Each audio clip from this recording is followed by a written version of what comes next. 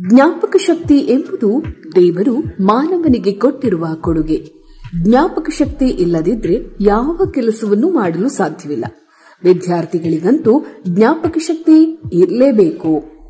ಇಂದಿನ ದಿನಮಾನದ ಪಠ್ಯ ಪುಸ್ತಕಗಳು ಮತ್ತು ಪಠ್ಯಕ್ರಮಗಳು ಹೆಚ್ಚಾಗಿರುವುದರಿಂದ ವಿದ್ಯಾರ್ಥಿಗಳಿಗೆ ಹೆಚ್ಚಿನ ಪರಿಶ್ರಮ ಬೇಕಾಗುತ್ತದೆ. ಕೆಲವು ಸಲ ಓದಿರುವುದು ಬೇಗನೆ ಮರೆತು ಹೋಗುತ್ತದೆ. ಅತಿ ಹೆಚ್ಚು ಓದಿದರೆ ಮೆದುಳಿನ ಮೇಲೆ ಒತ್ತಡ ಹೆಚ್ಚಾಗಿ ವಿದ್ಯಾರ್ಥಿಗಳು ಖಿನ್ನತೆಗೆ ಒಳಗಾಗುತ್ತಾರೆ.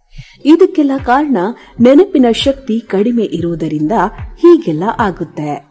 ದೈಹಿಕ ಆರೋಗ್ಯದ ಕೊರತೆ, ವಿಟಮಿನ್ಗಳ ಕೊರತೆಯಿಂದಲೂ ಸಹ ಹೀಗಾಗುವ ಸಾಧ್ಯತೆ ಇರುತ್ತದೆ. ಐಟಿ ಬಿಟಿ ಎಂಜಿನಿಯರಿಂಗ್ ವಿದ್ಯಾರ್ಥಿಗಳು ಸಹ ಹೆಚ್ಚು ಪರಿಶ್ರಮ ಪಡಬೇಕಾಗಿರುತ್ತದೆ.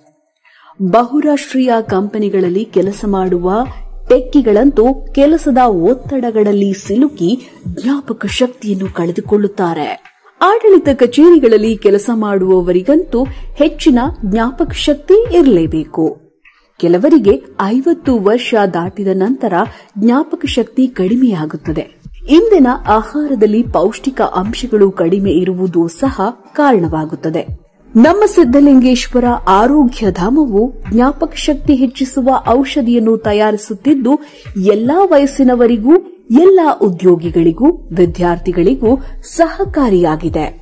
ಬ್ರೈನ್ ಸುಧಾ ಎನ್ನುವ ಕ್ಯಾಪ್ಸ್ಯೂಲ್ ಅಥವಾ ಪೌಡರ್ ಅನ್ನು ನಿಯಮಿತವಾಗಿ ದಿನಕ್ಕೆ ಎರಡು ಬಾರಿ ಊಟದ ನಂತರ ಸೇವಿಸುವುದರಿಂದ ಜ್ಞಾಪಕ ಶಕ್ತಿ ವೃದ್ಧಿಯಾಗುತ್ತದೆ. ಹೆಚ್ಚು ಓದಲು ಮತ್ತು ಓದಿದ್ದನ್ನು ಜ್ಞಾಪಕದಲ್ಲಿ ಇಟ್ಟುಕೊಳ್ಳಲು ಸಹಾಯ ಮಾಡುತ್ತದೆ.